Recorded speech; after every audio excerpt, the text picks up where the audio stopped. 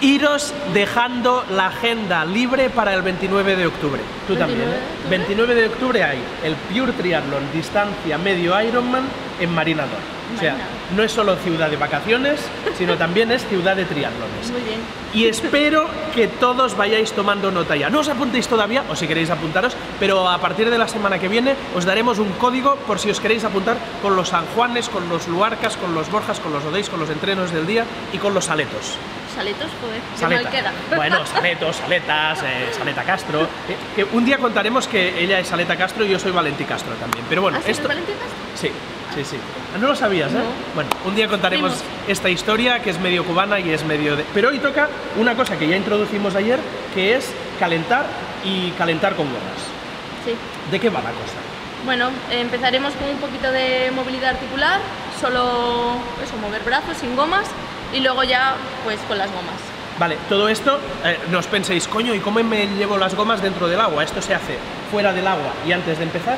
Y las gomas es una cosa que a priori no encontraréis en la, en la piscina y tenéis que llevar de casa ya. Sí, eso lo tendréis que comprar y en la piscina no lo vais a encontrar. Twitter.com barra Saleta Castro, Instagram.com barra Saleta 3, tenemos un medio Ironman en 40 semanas, o sea que ya podéis empezar a darle candela al asunto. Vamos a calentar.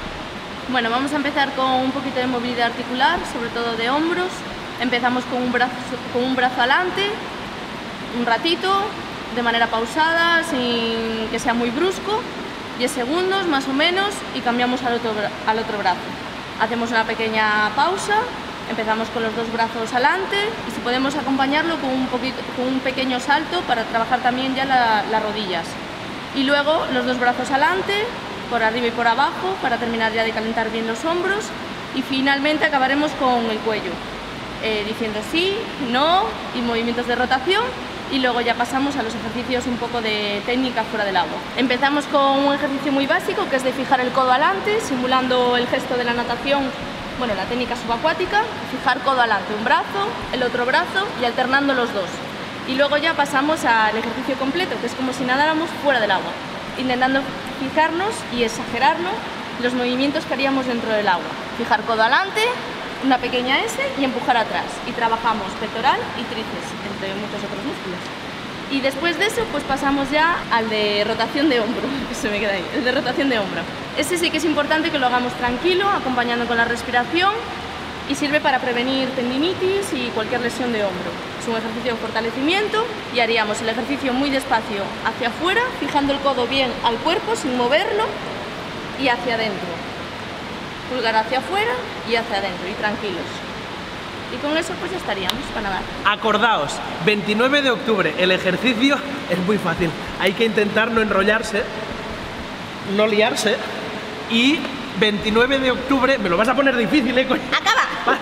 29 de octubre, enrollarse o que te enrolles aleta. La cosa es muy fácil. Eh, medio Ironman en Marinador. Me gustaría que viniera. Me cago en la puta saleta. Entonces, eh, os estaremos esperando esta semana dedicada completamente a la natación. Ya veis que el tema de estirar es calentar, es realmente muy fácil. Yo lo tengo más o menos por la mano. Y nos vemos mañana. Ma- Ven. Eh, mañana me gustaría que, aparte de putearme, nos des un poco de técnica de crawl. Ya veremos. Ya veremos, dice la madre que la parió. Twitter.com barra Saleta Castro, Instagram.com barra Saleta 3. Venga, hasta mañana.